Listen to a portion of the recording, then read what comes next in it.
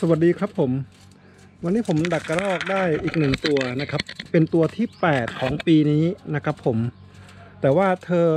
สีเธอแปลกมากเลยนะเป็นกระรอกตัวแรกที่ผมดักได้และเป็นสีดำนี่กระรอกสีดำนะครับผมนะปีที่แล้วผมดักกระรอกได้ 20 ประมาณ 26 27 ตัว ผมเอาไปปล่อยทั้งหมดนะครับผมปีที่แล้วมีกระรอกตายไปหนึ่งตัวนะผมได้ปล่อยประมาณ 26 ตัว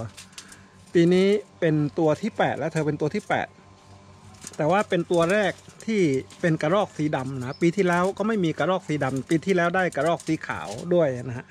ปีนี้เป็นกระรอกดำเดี๋ยวผมจะพาเธอไปปล่อยนะครับผมนะฮะ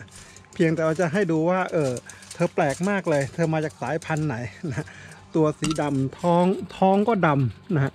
ปกติแล้วเนี่ย กระรอกแถบนี้จะเป็นทองขาวนะเธอทองดำตัวดำครับผมนะเอ่าไม่ต้องไม่ต้องดิ้นรนเดี๋ยวผมจะพาเธอไปปล่อยนะนะครับผมอ่าปิดกล้องละนะฮะเธอก็น่ารักดีแต่ว่าเธอ